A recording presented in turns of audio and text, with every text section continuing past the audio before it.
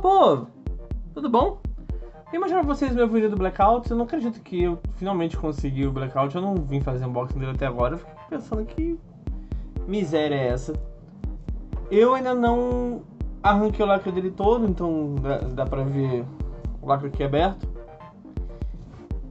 O meu é a terceira edição da Urban, o que no final das contas eu fiquei ligeiramente feliz, porque eles estão lançando os discos mais bonitos agora. Porque a primeira edição foi aquela que era misturada cor com branco. Então, o Baby Amor era rosa com branco, o acho que era roxo com branco, o Britney era amarelo com branco, o Windows era azul com branco, que é que eu tenho. E alguém teve a brilhante ideia de fazer o blackout preto com branco. Só que aí esqueceram que quando você derrete preto e branco, você mistura, dá cinza. Ficou um disco feio pra cacete. E não tinha nada a ver com blackout, que é a pior parte. Mas eu não consegui, né? Esgotou rápido demais, eu fiquei sem. Depois saiu Clear, mas eu não consegui comprar também. Quando eu consegui comprar, tava na terceira leva e eu dei muita sorte. Porque além de ser o disco mais bonito, é o disco que mais encaixa na cor do blackout. Aqui está escrito na etiqueta. Exclusivo da Urban Outfitters, pressionado uh, em vinil clear limitado com splatter uh, preto, amarelo e vermelho, incluindo os hits Game More, Piece of Me e Break the Ice, inclui download digital. A capa do vinil é um pouquinho diferente do CD, essa borda aqui é maior, né? Inclusive dá pra ver até a parte de cima da mão dela segurando o chapéu. Inclusive além da foto, a borda continua. Enquanto na capa do CD a gente tem um corte. Que na verdade a borda é proporcional às, aos outros quadrados. Fica tudo do mesmo tamanho. O vinil dá a ideia de que o externo é maior que os outros. Tá vendo? Essa parte aqui maior. Mas nada de uau, que alteração. A lomada é diferente. É toda preta. Na verdade não é toda preta, ela continua a arte que vem da contracapa.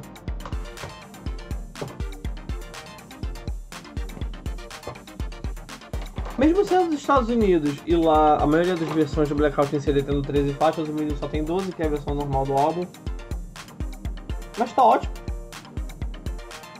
Ele tem. Eu achei interessante que eles não aumentaram a quantidade de texto. É, eles listaram direto de 1 a 12, igual contra a capa original. Então eles escreveram pequeno. Side A. E. Tô muito perdido. Side Eu não sei se eu tô fazendo o vídeo de lado, porque a, a minha mesa não tem profundidade suficiente para aparecer o vinil.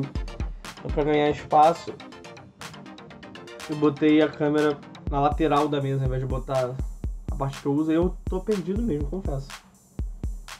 Por dentro a gente tem só um envelope. Na frente dele a gente tem essa foto. Crédito das 12 faixas. E do lado de cá a gente tem mais duas fotos.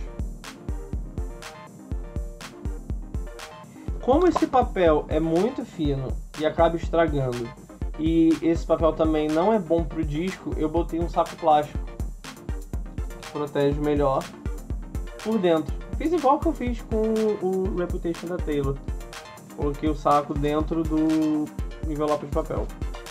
E a gente tem essa coisa mais linda, maravilhosa, perfeita da vida, que é a terceira edição do Blackout Urban. E o disco é nas cores do selo. Ele é vermelho predominante, com preto e amarelo.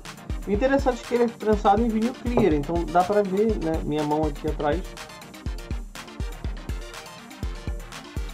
Ele fica colorido, mas ao mesmo tempo ele fica translúcido. O que eu acho que fica lindo pra cacete. A estampa. Achei interessante é que eles usaram fundo cinza. Porque no, no, CD não tem fundo dessa parte, né? você vê a parte prateada do CD. Normalmente quando isso acontece em papel acaba saindo branco, porque você não imprime, então se você não imprime fica branco é a cor do papel. Mas achei legal que eles chegaram a pintar realmente de, de cinza. A gente tem os logos da Jive e da Legacy, né? Jive, a gravadora original, Legacy. Pra quem não sabe, a Legacy é uma gravadora pertencente à Sony Music que cuida do catálogo. Por isso que a Urban, a Urban conseguiu, na verdade, um contrato com a Legacy. Por isso que tantos álbuns antigos da Sony Music estão saindo em vinil. Porque tá tudo saindo pela Legacy. Blackout Side A. Aqui é a rotação, 33 um terço. 2017 2019. 2019 foi quando saiu a primeira edição em vinil o mês de 2020. E o legal é que por ser clear, você enxerga por dentro do disco, né, as bolinhas de, de acetato que ficaram... É acetato? É plástico, né? Você enxerga as que ficaram no meio, né? A predominância. É tudo feito com um monte de bolinha de plástico, né? Derrete tudo, mistura tudo e vira um bolinho quente de plástico. A predominância de bolinha transparente, que é para o disco ficar clear, mas tem um pouquinho do vermelho e um pouquinho de preto e amarelo. Mas o legal do ser clear é que você enxerga o que está do outro lado. Que nem aqui, por exemplo, você vê esse amarelo aqui, ele tá forte só aqui na ponta, na ponta, porque na verdade ele tá mais predominante do lado de lá. Inclusive esse risco aqui que parece até que o disco tá todo arranhado, mas não é, graças a Deus, cuido muito bem dele. É só esse, esse risco amarelo aqui que dá pra ver do outro lado. Fica muito lindo. Inclusive eu quero mostrar duas é, imagens para vocês. Essa é dele parado na vitrola, porque o, o tapete da vitrola é preto, né? Então dá um pouco de destaque pro disco. E essa foto é uma técnica que eu, que eu vi de tirar foto de vinil onde você liga ele na rotação maior, você ilumina ele de cima. Aí a foto fica dessa forma e eu acho a coisa mais linda do mundo. Bom, eu tenho os singles do Blackout, mas eu tenho eles na, na versão do box. Eu não tenho o single original com a estampa original. Eu tenho eles em envelope de papelão e na verdade eles pertencem ao Singles Collection. Então, a contracapa até a contracapa original. Isso que eu achei interessante, né? A forma de. Como dá pra fazer duas capas tão diferentes na mesma foto, muito bacana. Mó barato.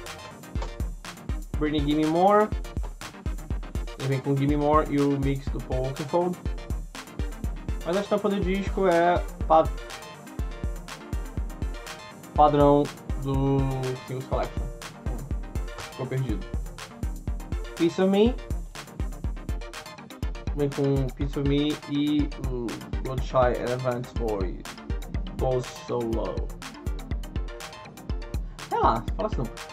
Não vem com remix, né? Eu me interesso tanto quanto me interesso pela produção do negócio. E Break the Ice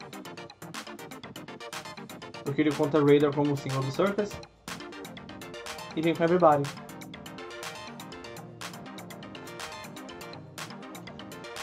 Última coisa que eu tenho pra mostrar do Blackout.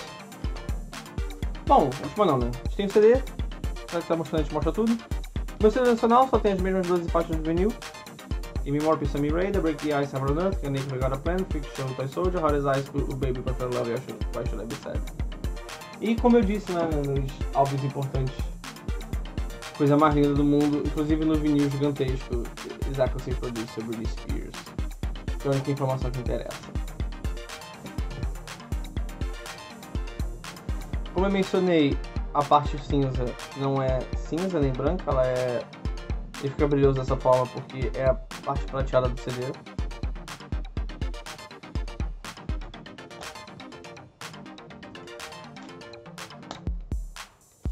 E no vinil a gente tem nada dessas fotos de Gimme More, totalmente perdidas. Essa foto.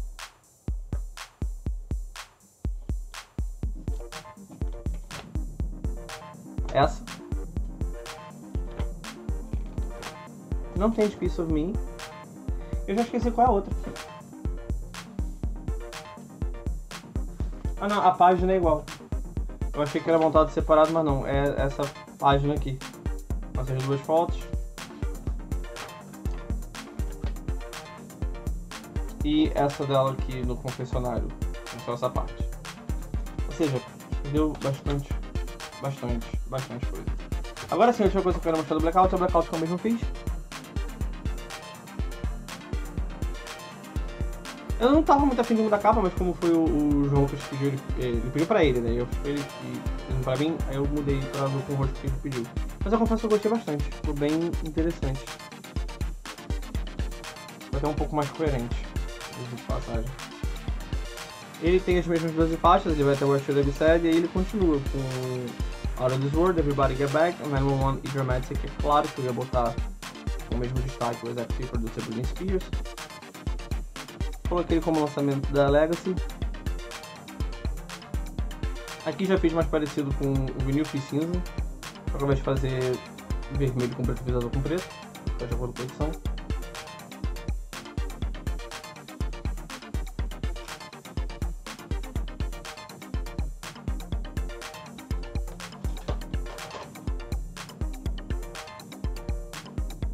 Eu sempre faço o modelo europeu, né? Por estar mais grossa e entrar mais fino. Usei a mesma foto, né, dela no confessionário. Só que eu quis botar a letra das músicas. Deu na telha, vou botar a letra.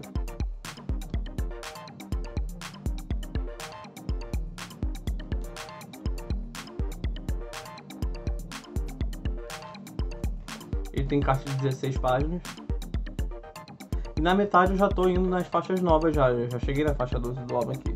Na metade do encarte. Além de tudo ele tem bastante foto. Ele é bem recheado de foto.